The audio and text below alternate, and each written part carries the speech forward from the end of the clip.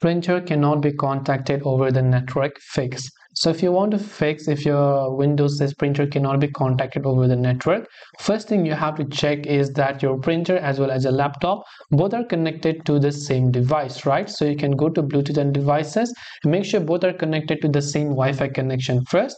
Second you want to make sure that your printer is added here. If you don't find it you can go to printers and scanners.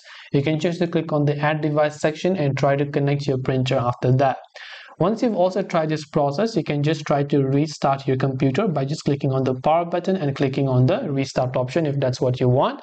Next up, what you can also try to do is you can simply try to open up device manager. And once you open up device manager, you can simply try to go to all of these printer options there.